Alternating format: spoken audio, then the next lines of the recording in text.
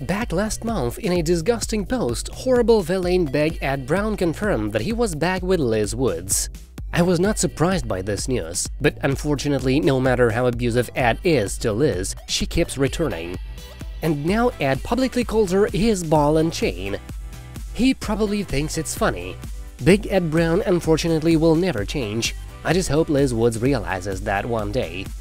A couple of days ago, Ed posted a picture.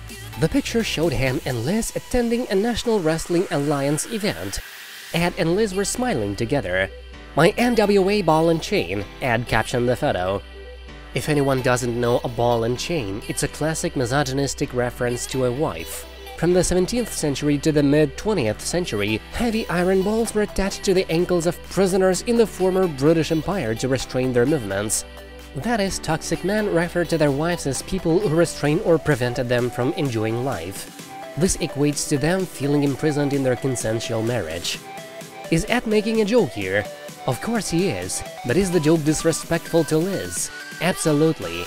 If even Ed wasn't a known misogynist, it still counts as a mocking phrase.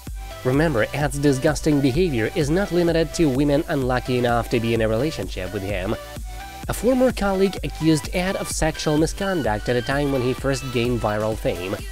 Essentially, Big Ed punishes Liz for standing up for herself. He humiliates her, hurts her feelings, and more.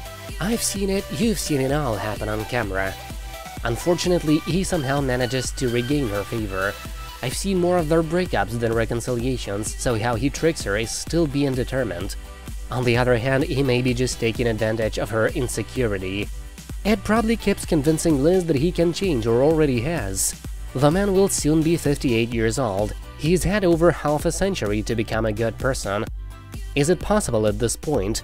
Is it possible at all? Liz has to ask herself this.